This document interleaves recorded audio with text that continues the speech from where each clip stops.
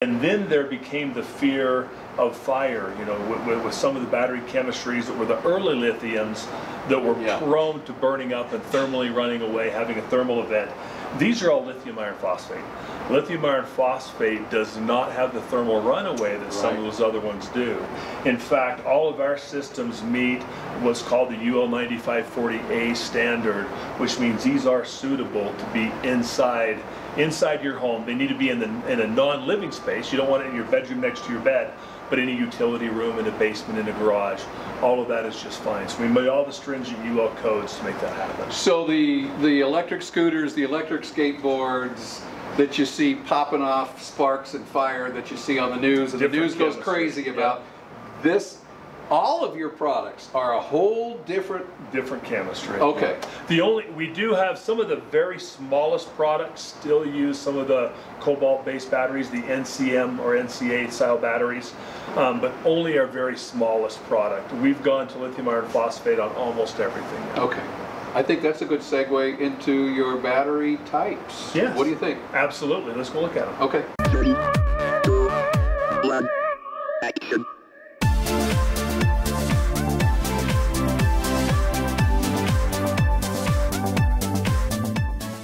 So let's talk about battery construction. There are really two types of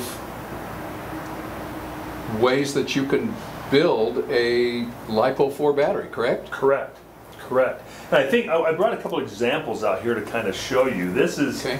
and I don't, I don't know what product this is out of, but it's one we had in our in our validation room. These are cylindrical cells. Okay. okay? And I, the, the, whether these are LFP or NMC doesn't matter, they're cylindricals. And if you notice that there's a series of battery cells here, it looks like there's about 16 here, 16 here, and 16 here. Okay. All of these have to be connected. So this looks like it's all the positives over here. I'm assuming the negatives are going to be under here. So you have all of these in a combination of series and parallel to build up to the voltage and amp hours you need for, for the desired effect. So a lot of our competitors use cylindrical cells. They're more readily available. Um, they're a little bit easier to manufacture in the automated process where they're just coiling everything up. And we can kind of show you some of that in a moment. But this is kind of the standard that's been out there. Okay, so we choose to use prismatics. So here's an example of our UT1300 battery. And if you peek inside, we don't have a series of cylinders. Okay. We have a series of cells, and this one's larger, but a series of cells look more like this. Okay. This is called a prismatic cell, where in a battery this size we would normally have well over 120 cylindricals to come up to this same voltage and amp hours if we were using cylindrical cells. When we're using prismatics, it only takes four. So each one of these cells is 3.2 nominal voltage and 105 amp hours.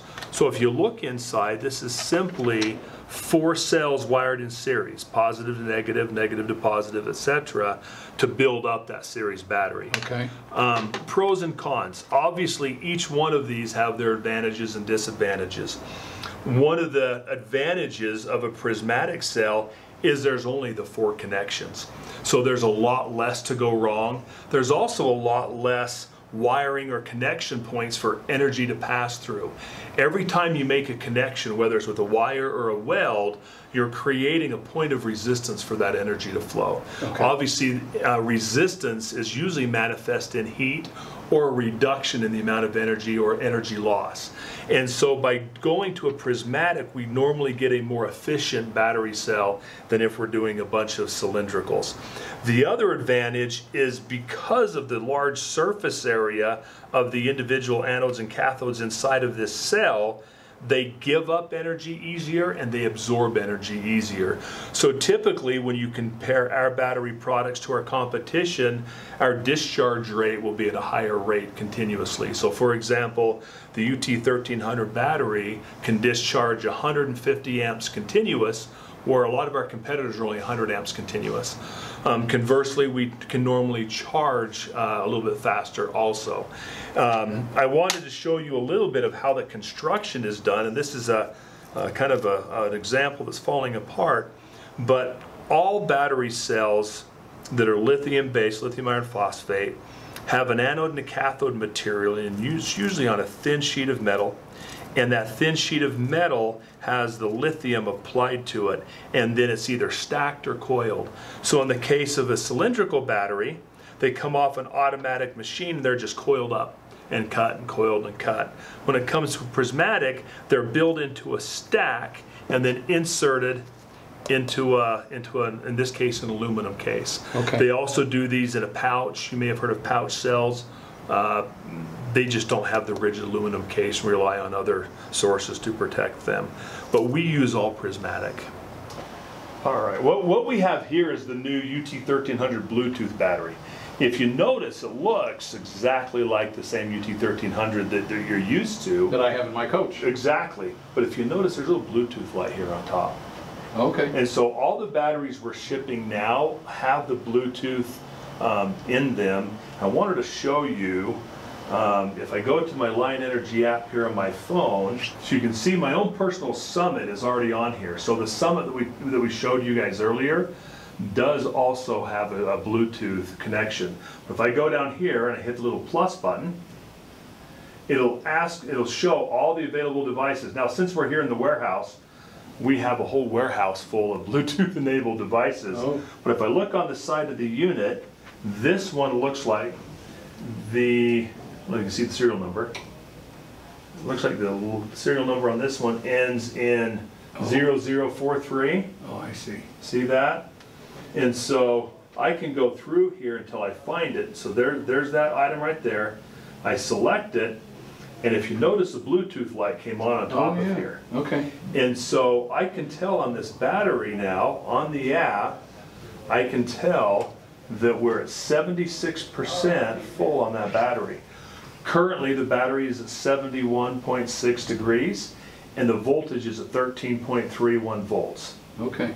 Um, if we were using the battery, so if this was in your coach, you'd be able to see incoming or outgoing watts as it's charging. So just one more check, you can pull right from your phone and see the status of your batteries. Now, will this show each individual battery or, or the, the string? Each individual battery. Okay. So, you know, a lot of people have said, hey, I already have, in your case, eight batteries. What if I wanted to see all eight on Bluetooth without replacing them all?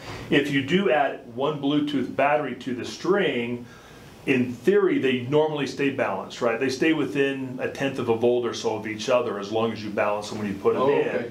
So they're all going to be at a very similar percentage and a very similar voltage and a very similar temperature. So while you won't see each individual battery unless each have Bluetooth, you will be able to at least get an idea of how your bank is doing. Okay, so let's talk about warranty uh, for LiPo batteries, and in, I mean, you can kind of go over it in general, maybe, and then what Lion Energy does with their warranty. Sure. I think in general, I think everyone needs to understand that it doesn't matter if it's our lithium iron phosphate battery or of our competitors. Lithium iron phosphate, in, in the large part, all performs very similarly. Obviously, different battery man, cell manufacturers can do different things to add additional life cycles or reduce life cycles or add a little bit more amp hours to, to a given size cell. But in general, the degradation or the cell, the cell life cycle depletion, if you will, is very similar amongst all, all lithium iron phosphate Okay. batteries. Most of these cells are made, at least the prismatics, are made to last between five and six thousand life cycles at 100% depth of discharge. Um, and that's under ideal situations. So, forgive me, but I'm, I'm gonna get real simplistic here. I'm just gonna explain. You and I have already had this conversation, Yep. and I just wanna share it. So when you're talking about uh, zero to hundred percent, we're talking about discharging that battery clear down to zero, Yep, all the way back up to hundred, correct. and the, the battery should be able to accept how many of those full charges, zero to hundred charges? If they're done, and I'll say under ideal conditions, they're gonna last between five and six thousand life cycles. Now, keep in mind the, I don't know where this industry norm came from, but, but eighty percent is kind of considered end of life. So when we say five to six thousand life cycles, that means at the end of that, the cells are still gonna have eighty percent of their original life left. but to the industry, that's kind of the end of their, of their normal life. You're still gonna be able to use that battery for a long, long time. Okay. Obviously, a hundred and five amp hour cell, at the end of life, is still gonna have over eighty amp hours of energy left in it. For the warranty purpose, where that comes in, we warrant this for thirty-five hundred life cycles to account for, you know, we can't control the temperatures where someone's charging and discharging their battery. We can't control how hard they're running their battery. Some people are going to try to run, you know, an 1800, 2000 watt inverter off of a single battery, which with their 150 amp output you can do. But when you're doing that, that's a lot harder on the cell than if you're just pulling half of that amperage out at a time to run your normal coach. And so, since we can't control how hard they run the battery and the temperatures, um, we're going to warrant, we warrant all of our UT 1300 batteries for 3,500 life cycles at 100% depth of discharge. And the, where the lifetime part comes in is we don't have any time limit on that. So if you're a full-time RVer and you're running that from full to dead every single day, you're gonna get roughly 10 years out of that before you've hit those life cycles. 365 days a year? Yep, Wow. yep. Okay. So that'd actually be 3,650, right, 3650, carry the zero, you know, life cycles. Okay. Um, so it's 10 years if you use it every day. We don't want to limit you to 10 years because most people don't do that. Most people, if they're like me, at best hope to get out 30 nights a year in our RV. And so we don't want them to be limited by 10 years. And there's a couple of things we've done to help make sure our battery's not going to age by time, but strictly by life cycles. And that's all controlled by the battery management system, the BMS. We control how fast the charge goes in, how high the battery voltage gets, how low the battery voltage gets to protect itself, so that we make sure you as the consumer are able to use the full 3,500 plus life cycles. And so on that warranty, I think the question came up earlier, Jim, you asked me about, well, what happens if it just stops discharging altogether? If it were to completely fail and stop charging or discharging, the cell life doesn't matter anymore. We're gonna replace that battery because there's been some other catastrophic failure. 15 years down the It road? doesn't matter. 20 years down the It road? Doesn't matter. And, and, you know, one of the things we really pride ourselves on is our customer service here at Lion Energy. We have a great customer service team. You met Greg earlier today, who's our customer service manager. They really go out of their way to try and take care of you. Um, Typically, we'll even replace a battery before we've even got the replacement back because we understand you're out in the field. You guys need to keep going. You still need that energy where you're going. So we don't want warranty to ever be a reason why you wouldn't buy a Lion Energy battery. On the flip side, we think it should be why you would buy a Lion Energy battery. Okay, so you mentioned BMS. Uh, For those that don't know, that's the Battery Management System, correct? Correct. And that's what makes, that's what will help protect these batteries from either overcharging, undercharging, getting too hot, getting too cold, et cetera, et cetera, et cetera, right? It will protect the battery. That's what the BMS is meant to do. And every battery has a BMS in it. Every good manufacturer of a lithium iron phosphate battery should have a BMS in it. They Okay. don't all. Oh, There- really? There's some batteries, especially if you're buying some that are a brand that no one would necessarily recognize, but maybe an inexpensive version off of, off of the internet somewhere. Those don't all come with the BMS. Sometimes those are just a straight four cells wired to the outputs. Oh, so you could run into problems. You could run into problems.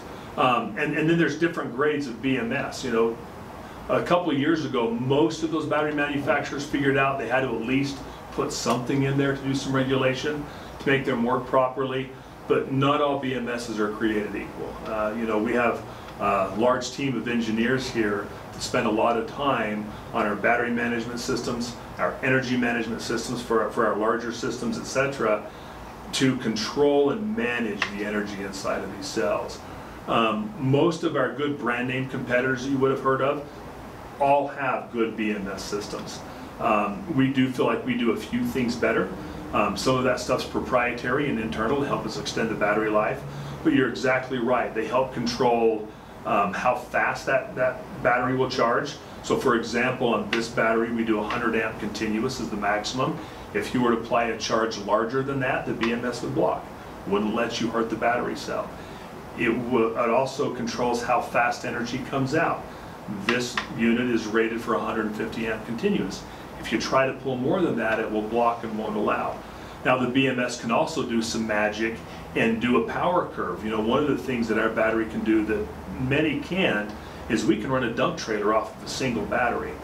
That dump trailer takes a lot more than 150 amps to get going. It's upwards of 900 plus amps to Oh, wow. get going. Okay. And so we have that charge curve built into our BMS to allow those dump trailers to go ahead and charge hmm. without causing long-term damage to the battery.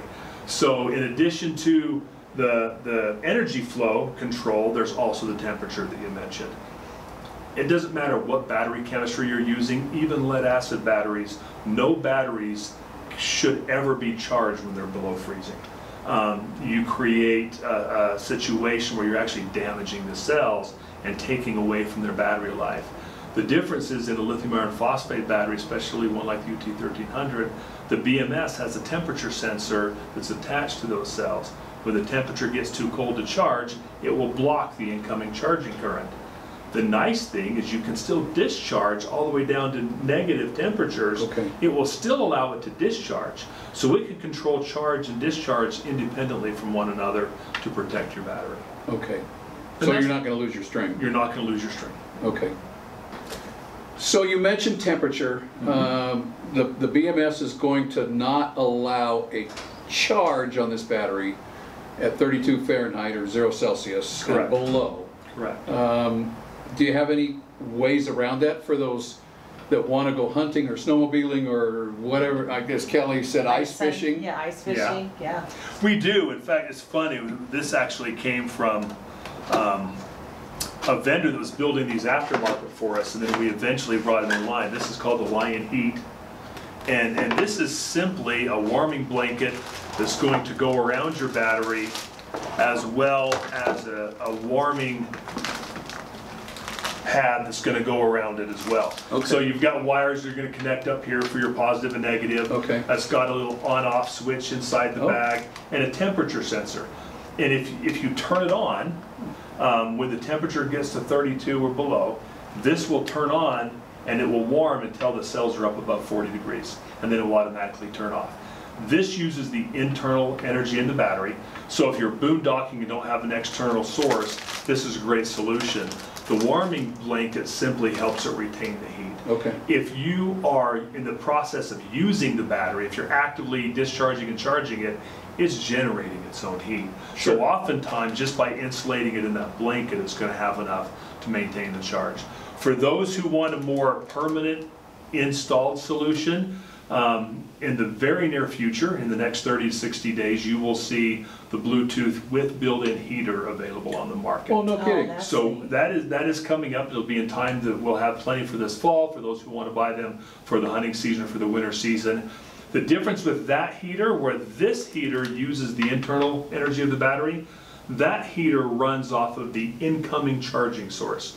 So if your battery's just sitting there not being s- installed or not being charged, it won't heat it.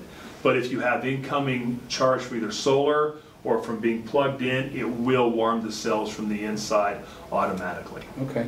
Lion Energy has got an amazing facility here in American Fork, Utah.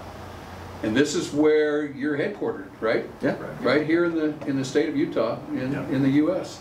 So, can you give us a little background about, uh, because this, this building, we, we got a tour of the building a little earlier, and this building's huge. It just keeps going and going And you said that and you kind of expanded over the years, uh, you know? So I first joined the company back in 2017. There was about eight of us. We're a little over 150 people right now. We've moved multiple times because we've just expanded and expanded. Uh, we used to have a part of this building. We've expanded to the whole part of the building. We used to have two places right across the parking lot here. We used to have a facility down in Orem.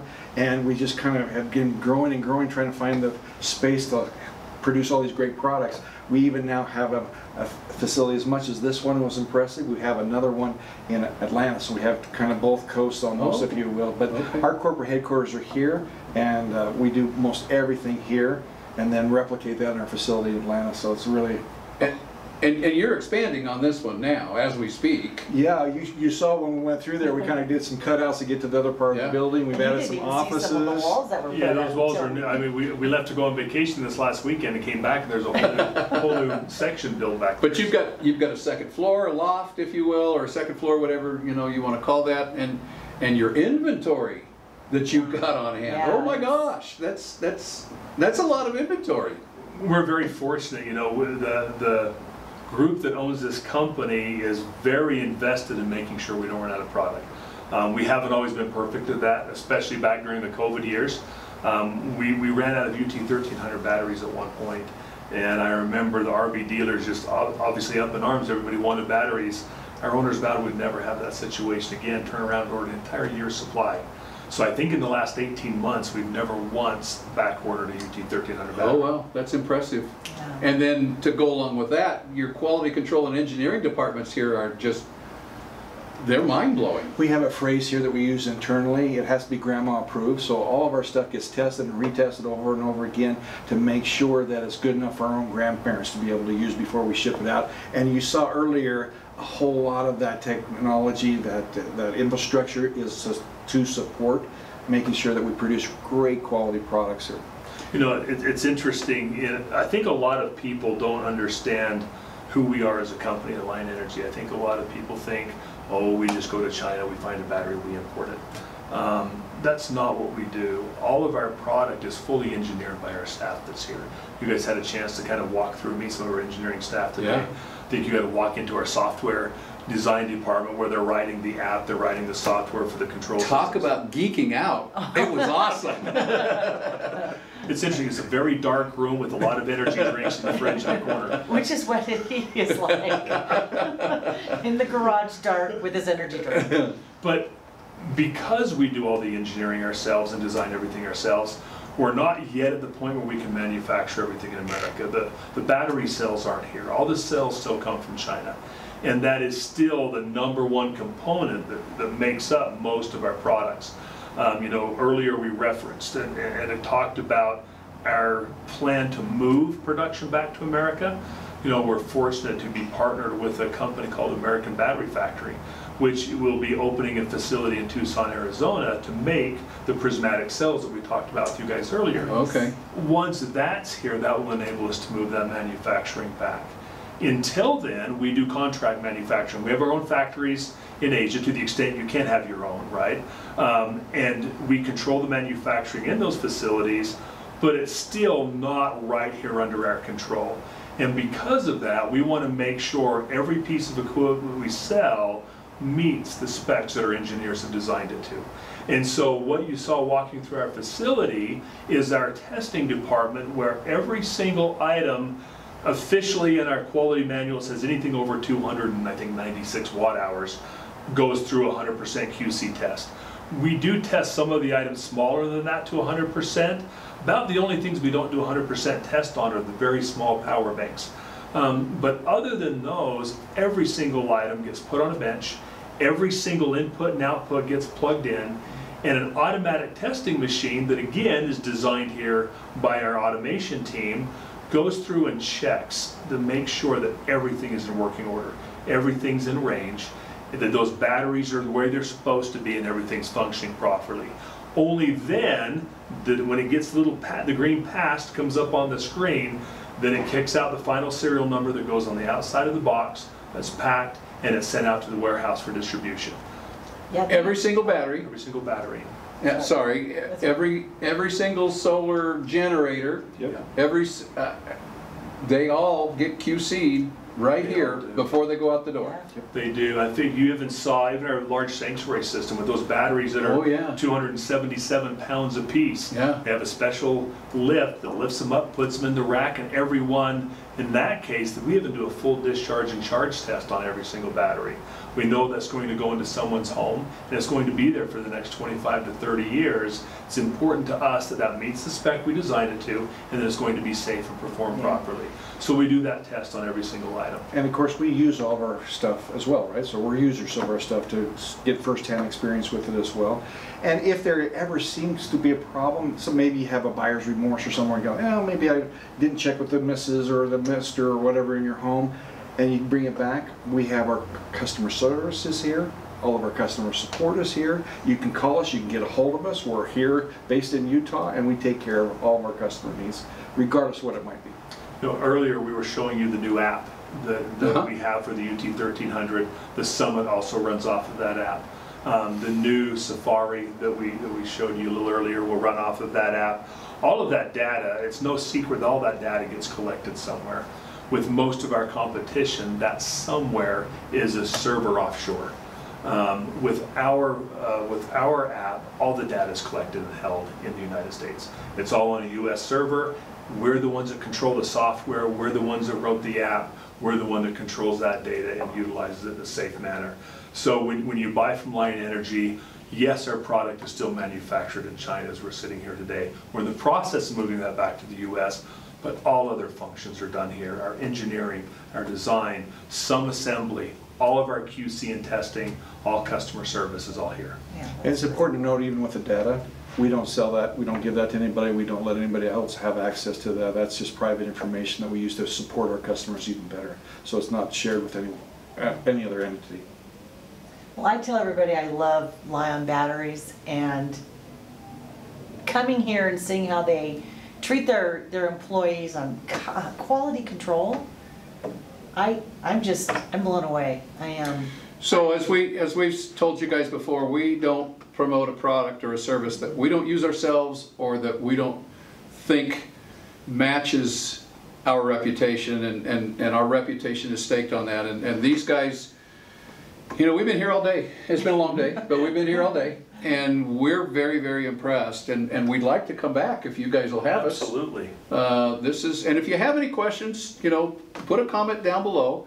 Uh, Shoot us an email, you've got our email, or give these guys a call uh, here at Lion Energy. It's, it's just, it's really a great company. We are so impressed Oh, yes. uh, that we would like to come back and, and bother you again sometime. You're sometime. welcome You're- anytime. You're always welcome, you know, Lion Energy, it's sort of like you're part of the pride, you're part of our family, so you're part of our family, you come back anytime you want, and for anyone who'd like to visit, we're here in American Fork, come over and see us, we'd be happy to show you around. Right off I-15. Yep, right off the freeway. All right, we are gonna wrap this one up from American Fork. It all starts with an idea. and turn those ideas into reality and create memories, lots and lots of new memories, guys, just like we are. We'll talk to you next week. Bye bye. Bye.